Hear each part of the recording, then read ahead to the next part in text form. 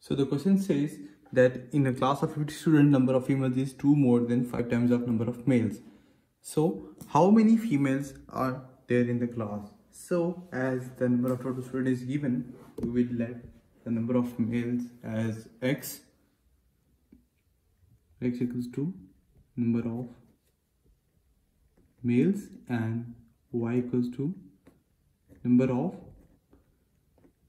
females. So from the given conditions we can derivate that x plus y make a total of 50 right? Let it be question number one.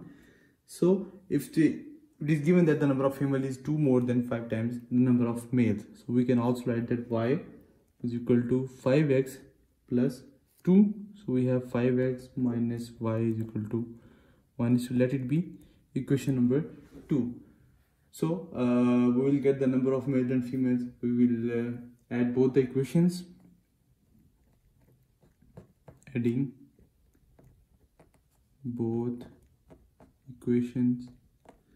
We have 6x equals to 48 that we will simplify and we have 48 by 6 and x is equal to 8 hence the number of females can be given by the equation y y is equal to 5 into x that is the value plus 2 we use the equation over here.